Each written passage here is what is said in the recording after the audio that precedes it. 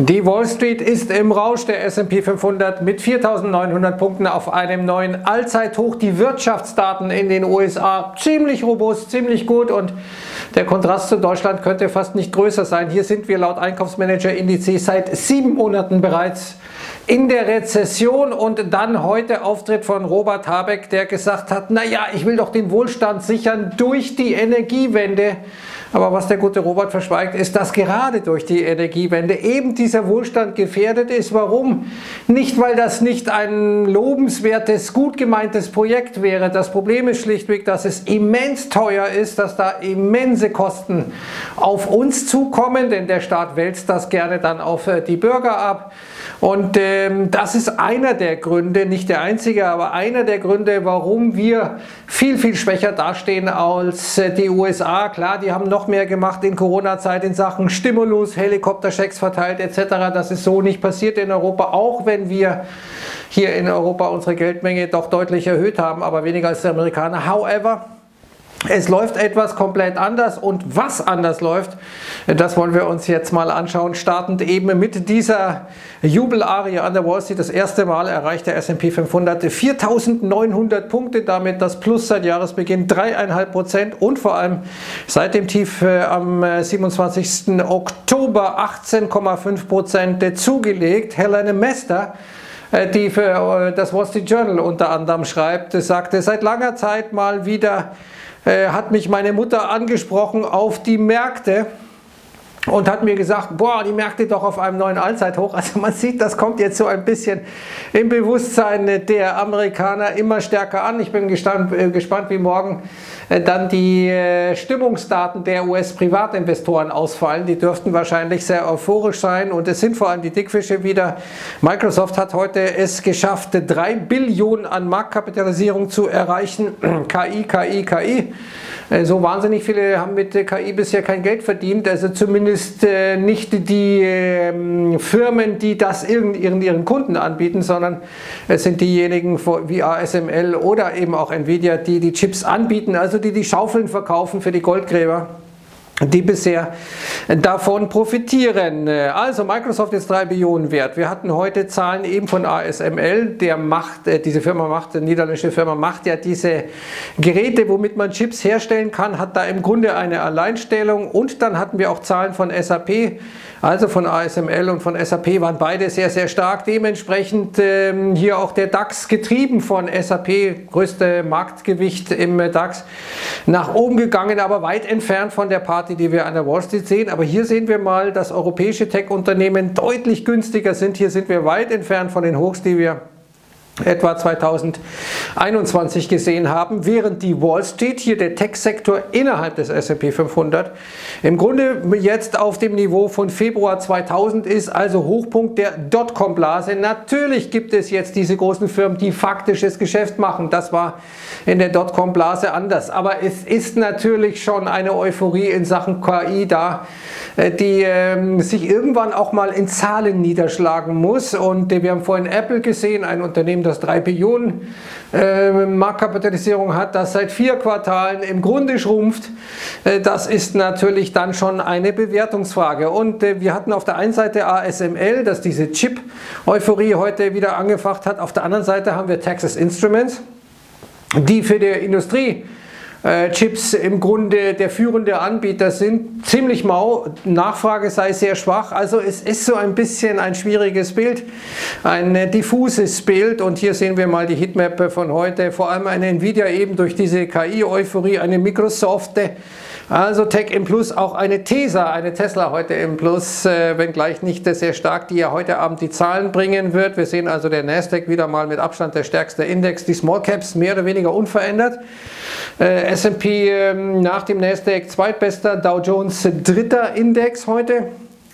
Hier sehen wir mal den S&P 500, äh, wie die ganze Geschichte laufen könnte. Wir sind jetzt genau an der oberen Trendkanalbegrenzung, wenn man hier eine ähm, Linie zieht äh, zu den, äh, von den Hochs ausgehend. Wir sehen oben im RSI eine negative Divergenz, aber Aktienmärkte steigen immer, meine Damen und Herren. Das wissen wir doch. Heute, wie gesagt, der Tesla, nachdem Netflix gestern ja vor allem beim Abonnentenwachstum überzeugt hat, auch den Aufschwung bei Tech heute mit angefeuert hat, muss heute Tesla liefern. Und äh, hier mal die Erwartung, Revenue bei 25,87 Milliarden Dollars.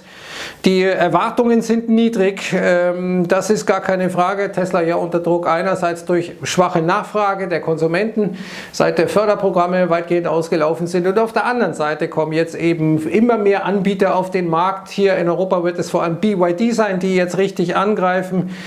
In China bekommt der Tesla jetzt immer mehr Schwierigkeiten, da ist man von Militärbasen ähm, schon länger praktisch ausgeschlossen, aber äh, von other government affiliated venues. Also das ähm, bedeutet, dass äh, praktisch Beamte etc. keine Teslas mehr fahren dürfen. Warum? Weil eben Tesla natürlich oder Elektrofahrzeuge besonders natürlich Daten sammeln.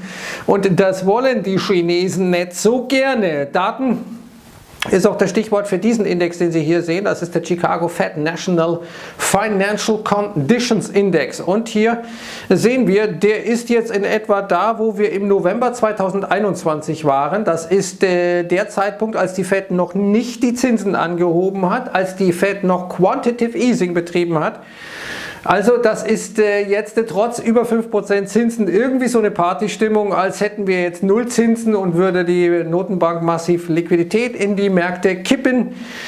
Und ähm, dieses, äh, diese Stimmung, dieser positive Impuls, der vor allem mit Jerome Powell kam im Dezember, als er sagte, ja, wir haben schon über Zinssenkungen gesprochen, der hat sich in der Stimmung niedergeschlagen bei den Amerikanern, siehe Verbrauchervertrauen und in Michigan zum Beispiel, aber eben scheint sich jetzt auch in Wirtschaftsdaten irgendwie zu manifestieren. Wir sehen heute den Einkaufsmanager-Index deutlich besser als erwartet, sogar Manufacturing jetzt wieder über 50, also nicht geschrumpft, sondern ganz, ganz leicht gewachsen.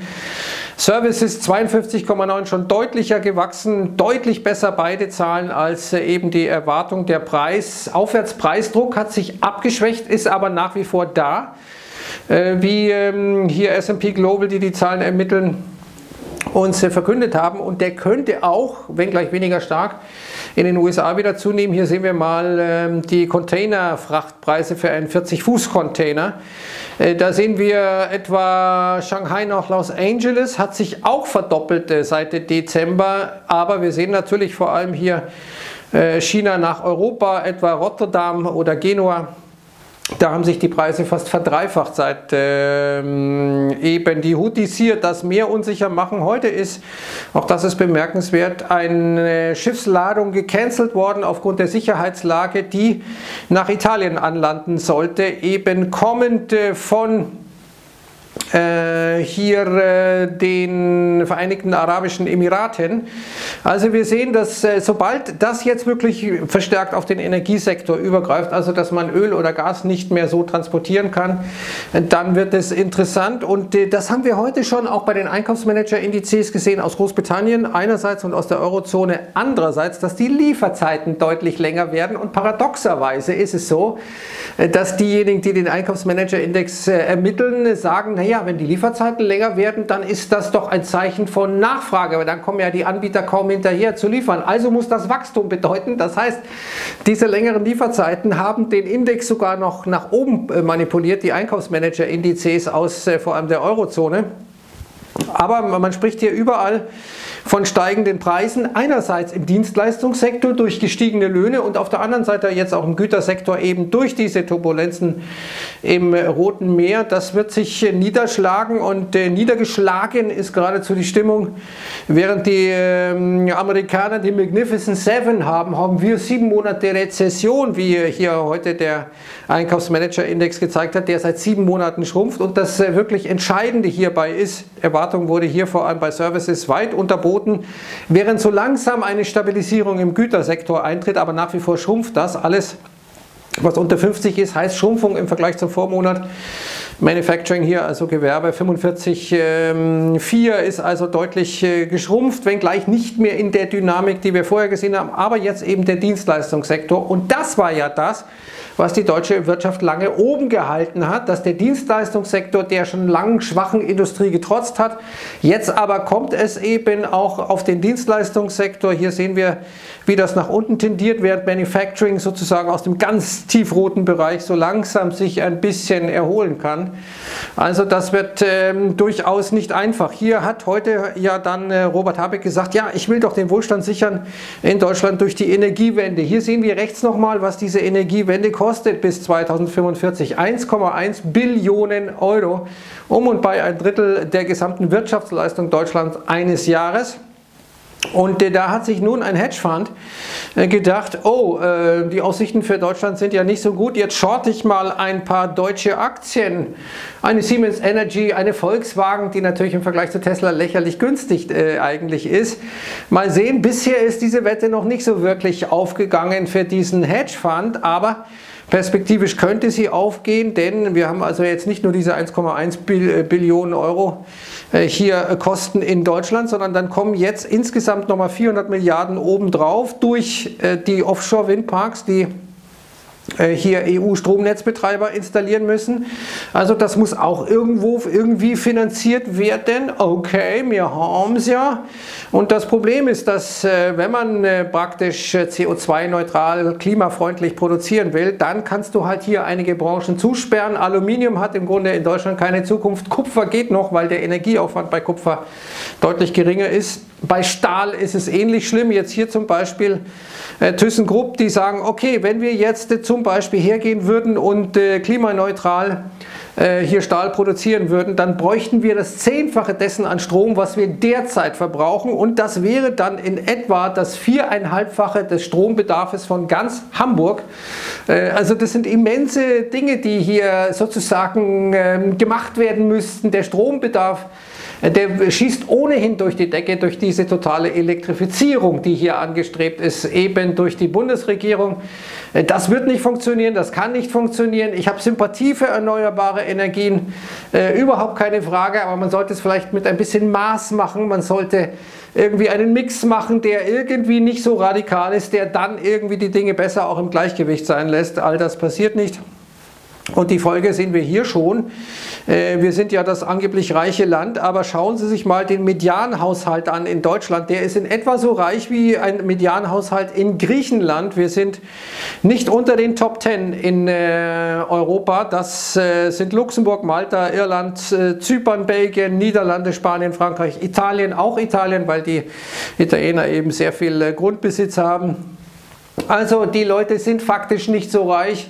Und jetzt kommen diese immensen Ausgaben. Habeck hat ja dann gesagt, also äh, mir geht es doch hier um die Zukunft und äh, diejenigen Politiker, und damit meinte er wahrscheinlich Linder, die irgendwie nur ihre eigene Popularität äh, im Sinn haben, äh, dann habt er keinen Bock mehr auf Politik. Auch äh, hier uns Scholz hat sich heute geäußert.